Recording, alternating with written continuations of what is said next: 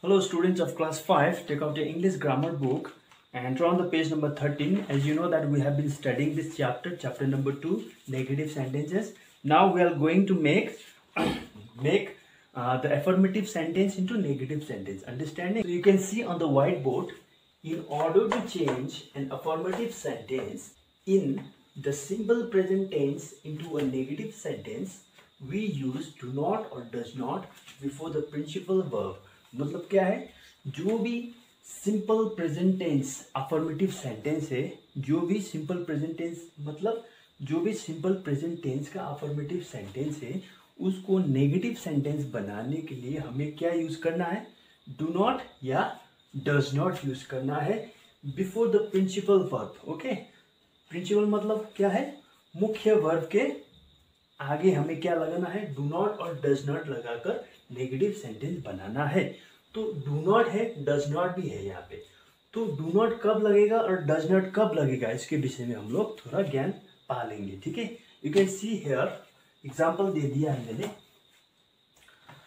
For example यहाँ पर देखिए डू कब लगेगा? Do is use with I we they you and plural subject तो you can see do do word किसमें लगेगा? ओके डू वर्ड किसमें अप्लाई होगा इम्प्लीमेंट होगा? किस किसमें? आई जो आई है आई आई से शुरू हुआ है। जैसे आई लाइक रीडिंग आई से शुरू हुआ तब क्या होगा? डू लगेगा। अंडरस्टैंडिंग डू लगेगा वी वी प्रनाउन है। Okay pronoun we we we से सेंटेंस शुरू हुआ है। तो उसको नेगेटिव सेंटेंस बनाने के लिए क्या है? डू नॉट का यूज़ होगा। Okay they I we they you और जो भी प्लूरल सब्जेक्ट है उसमें क्या लगेगा? डू नॉट यूज़ होगा। अंडरस्टैंडिंग नेगेटिव सेंटेंस बनाने के लिए डू नॉट यूज़ होगा। अंडरस्टैंडिंग आप लोगों को एकदम ध्यान में रखना है। जो भी आई है, जो भी वी है, जो भी दे है यू है ओके जो भी प्लूरल सब्जेक्ट है, उसमें क्या लगेगा?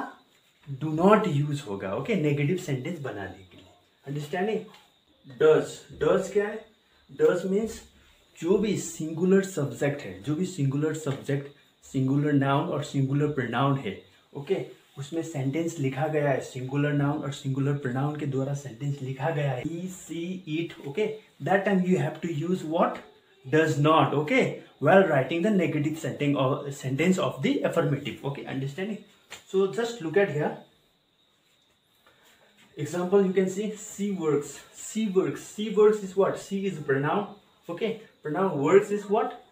Present singular verb use हो रहा है, ठीक है? सी वर्ड्स तो ये एफर्मेटिव है। इसको नेगेटिव सेंटेंस बनाइए, कैसे बनाना है?